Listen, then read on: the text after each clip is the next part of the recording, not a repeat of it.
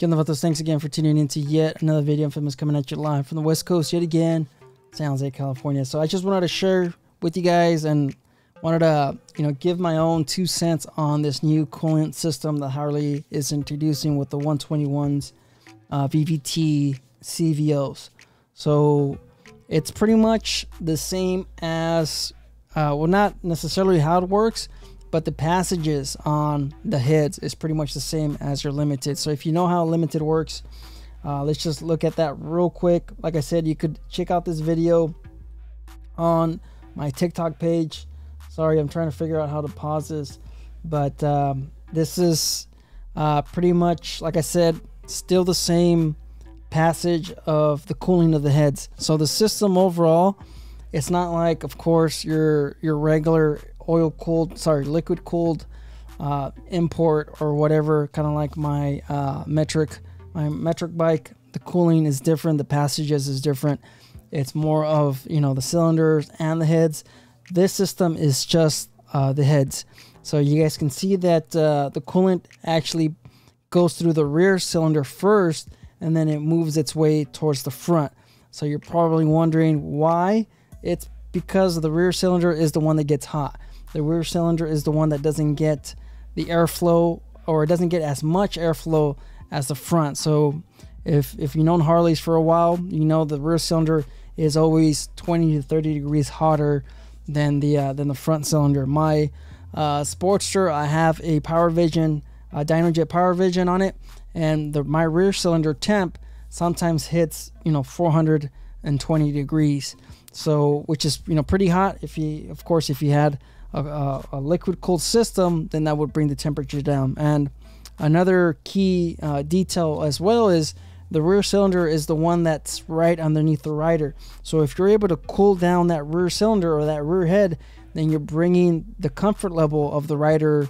You know, it's just it's it's just better because, uh, like I said, you don't have that heat coming from that rear cylinder towards the rider. Yes, there's heat deflectors that you could get that's going to help out. But having, of course, a liquid cooled system like this, where it goes through the rear cylinder first, will also benefit, you know, not only in performance and the cooling of, of the engine, but uh, the rider is also going to benefit. And you could see that it's also a um, a fan assisted uh, system on this, which is you know pretty good. It's you know it's a plus.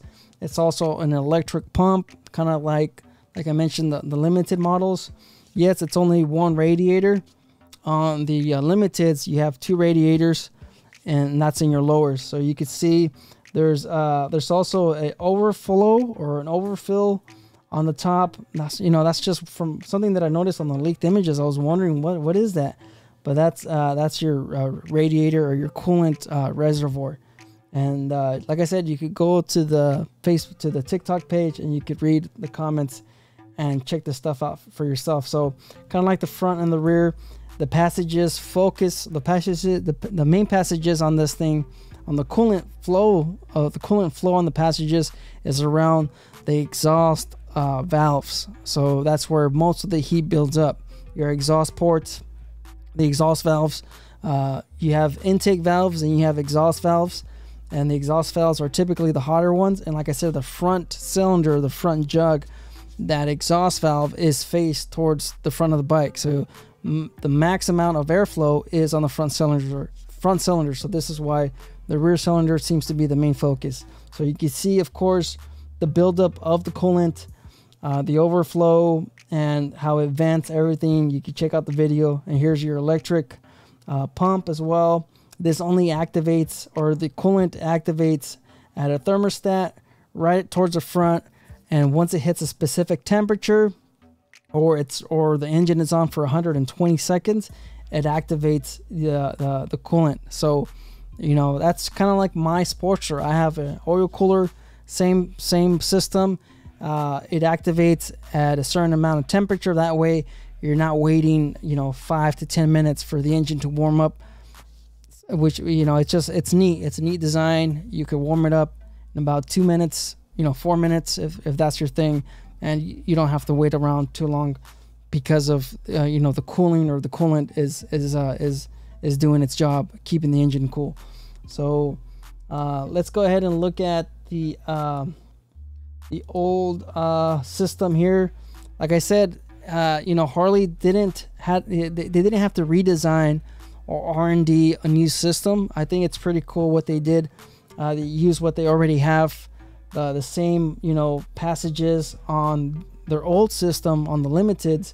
Uh, it's pretty much the same. You can see that the passages are focused around the exhaust valves, but instead of of course you know directing it into both of the both sides of of of uh, of, of the jugs at the same time because you, you can see that uh, there's a split off right here that they put that they go into the rear and they go into the front and then they work back up to you know this other connector and then that comes down over to your uh, radiator which is right here and then that flows back and it comes back out cool right on this side. And then the pump does the job and then shoots it back up to the heads and then that you know splits off into the front and the rear.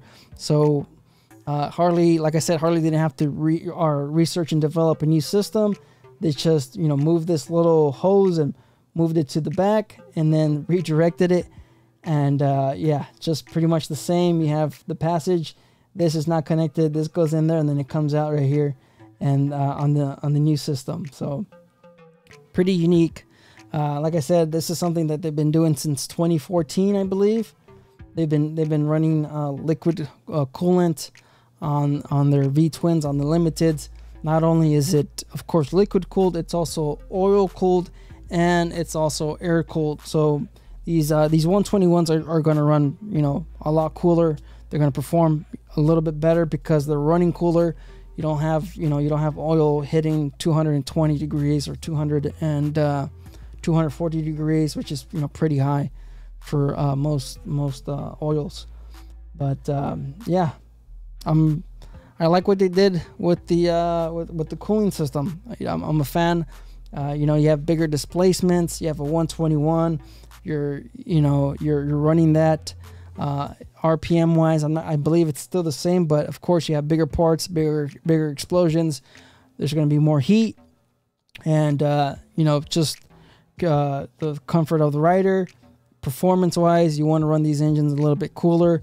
They're gonna ex- they're gonna extend the life of the engine, and it's gonna extend the life of your oil. So it's a plus plus. I like what they did.